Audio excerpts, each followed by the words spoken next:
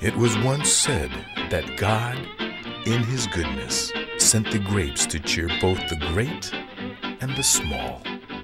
The little fools will always drink too much, but the greater fools will drink none at all.